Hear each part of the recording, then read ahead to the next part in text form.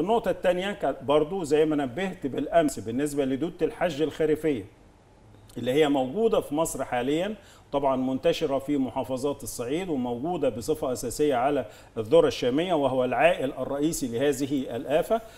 طبعا بذكر حضراتكم واهالينا المزارعين في جميع المحافظات اللي بتزرع ذرة شامية. مهم جدا المرور المستمر على زراعات الذرة الاكتشاف المبكر للإصابة لأنه العامل الوحيد أو المهم للوقاية أو لمكافحة هذه الآفة هو الاكتشاف المبكر للإصابة. ويمكن أنا قلت بالأمس ناخد بالنا اليرقة بتكون موجودة في البلعوم في قلب النبات فلازم المزارع يفتح النبات كده ويبص لو لقى اليرقة يحاول يجيبها بأي شكل. بشوكة بإبرة بملقط بأي شكل يجيبها ويتخلص منها.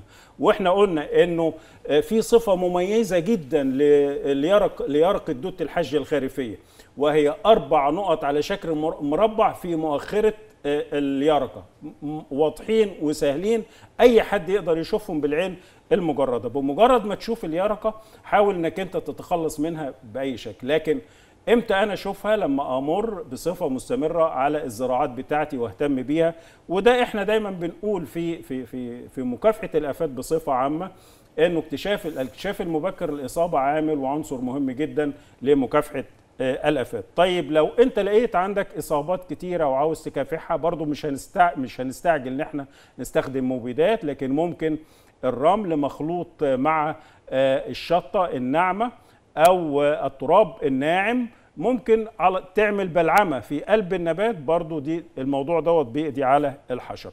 وبرضو بنبه في حالة وجود إصابات ممكن الاتصال بينا علشان في لجان خاصة بمكافحة دودة الحج الخريفية في جميع المحافظات بمجرد أي مزارع يشتكي أو يتصل بينا أو يتواصل معنا بأي شكل وأعتقد تليفوني معروف للجميع.